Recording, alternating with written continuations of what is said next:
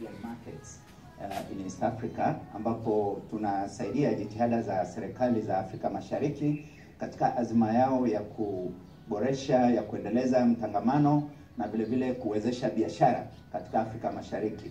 Kwa hiyo na tunafanya hivyo kwa kushirikiana na eh, wabia wetu partners wetu mbalimbali eh, kwa mfano katika misingi ya kuendeleza biashara kuna swala la miundombinu inayowezesha biashara. Tunafanya kazi kwa karibu sana na bandari ya Dar es Salaam eh, na bandari ya Mombasa kwa wenzetu wa Kenya, lakini kwetu sisi Tanzania ni bandari ya Dar es Salaam, vituo vya mipakani pamoja na system hizi ambazo zinasaidia kuwezesha uh, biashara kubwa na hasa ambalo leo limetuleta hapa ni kuimarisha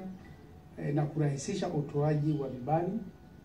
vya kuingiza bidhaa nchini, lakini pia na wale ambao wanatoa bidhaa nje ya nchi, tunasema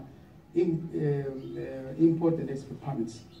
Kwa hiyo kupitia mfumo huu kwa kweli na kupitia ushirikiano ambao tumekuwa nao Trademark, tumetengeneza mfumo ambao uh, unarahisisha uh, upatikanaji kwanza wa taarifa za bidhaa zilizo ambazo zimesajiliwa na TFDA ili kurahisisha kuzipeleka nje ya nchi au kuziingiza nchini, na kubwa zaidi ni kwamba wadau wetu sasa wanaweza wakaomba e, vibali vyao kupitia mfumo huu ambao tume, ambao tumeuzindua hivi leo e, kwa maana kwamba wanaweza wakajaza waka, waka maombi yao kwenye fomu wakiwa katika ofisi zao bila kuja tia.